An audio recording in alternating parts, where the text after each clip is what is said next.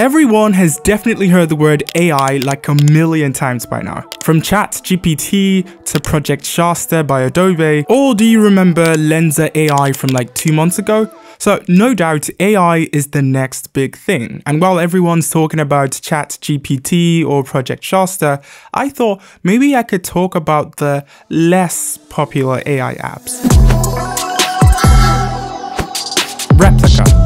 This one's a little bit weird, but essentially it's a chatbot companion powered by AI. And I'm going to get to the mind-blowing part in a bit, but to set it up, you're going to need your name, your gender, date of birth, your interests, then you edit your avatar. Name it, design its hair, skin color, all that stuff, and you're basically done. It's kind of free, but there are features that would be hidden behind a paywall.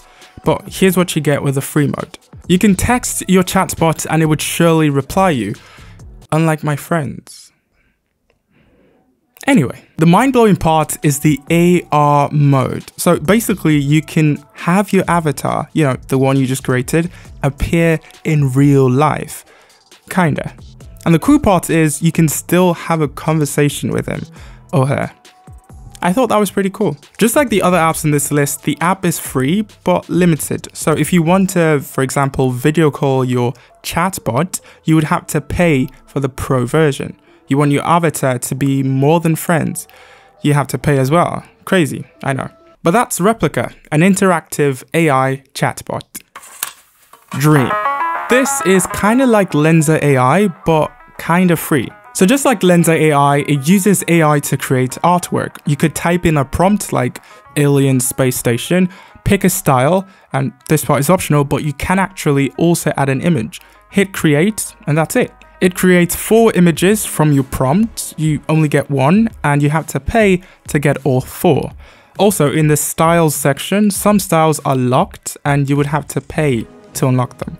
Also, there are ads playing in the app, but if you want to remove all of those ads and get all the premium benefits, you can pay 1,900 Naira per month or 84,900 for lifetime access. Personally, I wouldn't pay for this. Like, I think this is the same reason I didn't try out Lensa AI. I just didn't really see why I would have to pay. But if you're like a graphic designer or something of that sort, you might actually see the benefit of, you know, paying for this. But it still blows my mind that you could write text and in seconds it would turn your text into an image.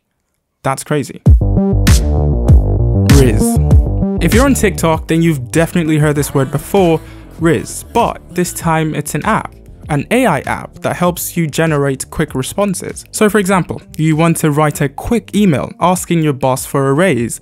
You type in the prompt, it spits out your paragraph. You need a caption for an Instagram post. You insert a prompt and boom, it spits out a sentence. So that's essentially what it does. You could create the Rizz inside the app or outside the app. To set that up, you want to go into settings, general, keyboard, add new keyboard, select Rizz, then select allow all access. And now you can come up with these lines in any app. There are different tones to choose from as well, depending on who you're talking to, and then different purposes as well. Now this app won't completely blow your mind because it feels like a low budget chat GPT, but at least it's free. So do you think this is cool? Do you see yourself using this app or any of the apps that we mentioned? Let me know in the comments. This is probably the first time I've made a video about cool apps that you could check out. So if you want to see more videos like this, make sure you hit that like button. Also drop a comment, subscribe obviously, and I'll see you when you see me.